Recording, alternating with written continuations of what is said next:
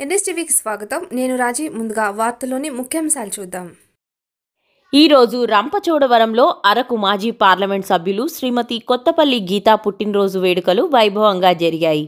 స్థానిక గవర్నమెంట్ హాస్పిటల్లో రోగులకు గర్భిణీ స్త్రీలకు సుమారు నూట యాభై మందికి పళ్ళు ఫలహారాలు మరియు సీతపల్లి స్కూల్లో సుమారు అరవై మంది పిల్లలకు పుస్తకాలు పెన్నులు ఇర్లపల్లి స్కూల్ పిల్లలు సుమారు యాభై మందికి పెన్నులు పుస్తకాలు గీత యువసేన సభ్యులు ఎన్వైసిఐ రాష్ట్ర కార్యదర్శి జగ్గారపు గణేష్ స్వామి బీజేపీ యువ నాయకులు గొంప కొండబాబు ఆధ్వర్యంలో జరిగింది.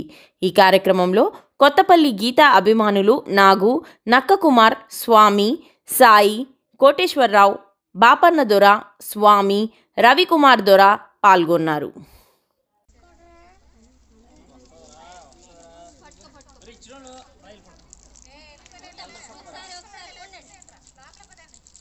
ఒకసారి ఇచ్చిన లైన్గా నిలబడతారు పిల్లలు నాలుగు మీకు కలిపి మీరు పుస్తకం పెన్ను ఇలా పట్టుకోండి ఇలా పట్టుకోండి అది ఇలా రండి ఇక్కడ